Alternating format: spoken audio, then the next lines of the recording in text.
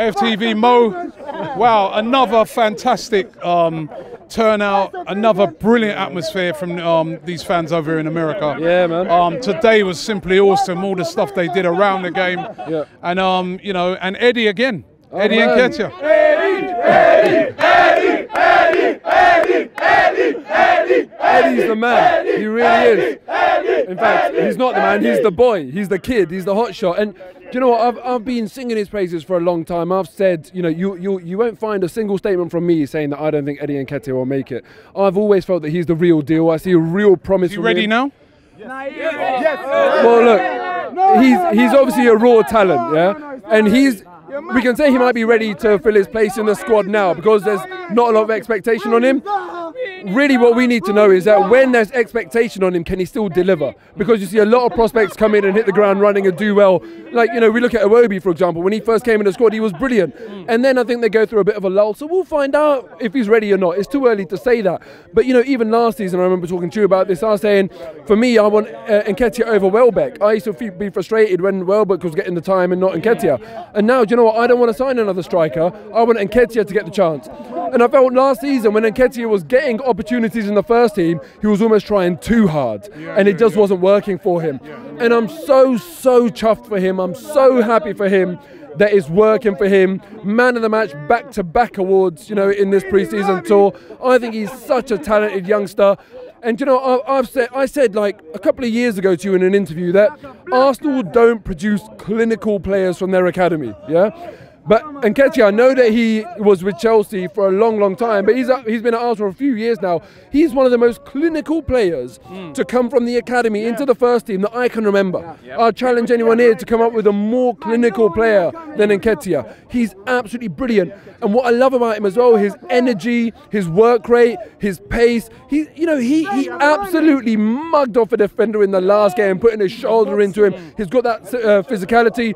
I love watching him play. The guy's And the danger is, is if you send him out on loan, and we see a lot of players go out on loan, do well out on loan sometimes, and but just never get back in the team. so look- you know, you see a like a Krystian Bielik who's been out on loan, done really, really well, but not you know he's not going to figure. Chambers went out on loan last season, was um, player of the season for Yeah, Fulham. yeah.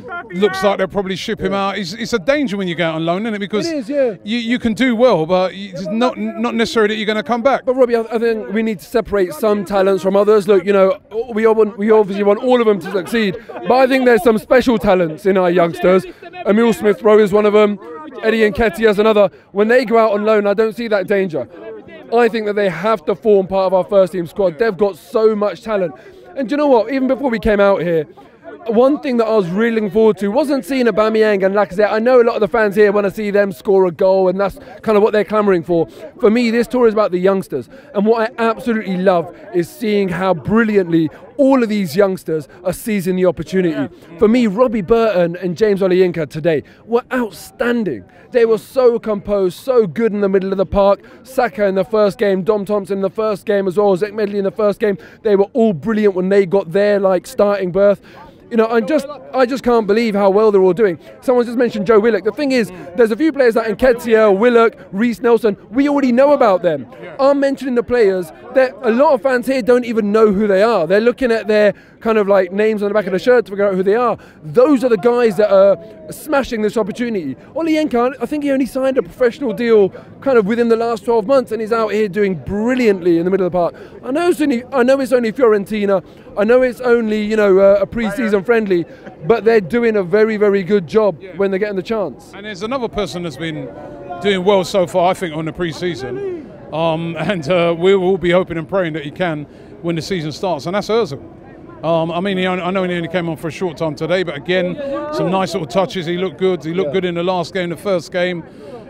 How important is it that we get this guy back on song, on form for the season ahead? It's amazing. Like you know, we watch Mesut Ozil play week in week out, right? And we watch him through our own kind of lens. But when I come out here, I, I watch him through a different lens. I watch him through the eyes of what an American fan that doesn't get to see Arsenal players play week in, week out. And when you watch him from that perspective, you then kind of press a reset button and you realize how silky he is, how smooth he is. And I, there's interviews of me saying in the past that he's a Rolls Royce of a player. And he, he really, really is. The problem is we just need the system that works for him. We need him motivated. Mm. Maybe he needs an arm arm around the shoulder. They seem to be playing him out here in that number 10 position, which Yeah. is a position he likes, is a position that suits him, but Yeah. not always possible to sort of come off with that in the Premier League where, you know, But- teams set up in so many different formations. But Robbie, you look, the thing is, right? I don't think uh, Emery is Özil's biggest fan. I think that his players would probably rather have in the team, and I don't think Özil is maybe as hungry as he once was. If we can get Emery and Özil having a bit of love, if we can get Özil playing with that desire and passion, there's no one like him. He is the best playmaker of his generation. Yeah, we're not seeing that week in week out now, but even when we look at when he first came to the club, he shifted the club into that into winning trophies again. He was brilliant. He was, and you look just look at the stats. This isn't about agendas or bias. Just look at the stats, the chance creation, the assists. He's tailed off. I'm, I'm willing to admit that, but I still love the guy and I still know what he's got in his locker, and I'd love him to show us that again. You know, get a bit of hunger and desire. Prove a point, Mesut Ozil. You know. And, you know, finally, Real Madrid's the next game. They ain't to be no Fiorentina. Probably, I bet you any money, any money Hazard's going to play. Right? So um, it'll, be a, it'll be a much bigger test. Would you throw in a load of the kids in that game as well? Yeah, man. Look, preseason friendly. We just beat Bayern Munich. None of us are thinking, oh, all of a sudden we're better than Bayern Munich. So if Real Madrid beat us, it doesn't matter. You know, for me, that's what I love about coming to these tours. I'm not stressed out. I'm not shouting at the referee. You know, it doesn't matter too much. We obviously want to see them do well, but what's more important for me is Emery can figure out with a limited transfer budget which players are ready for first team. You know, which players can we actually say? I mean, you look at Bukayo Saka.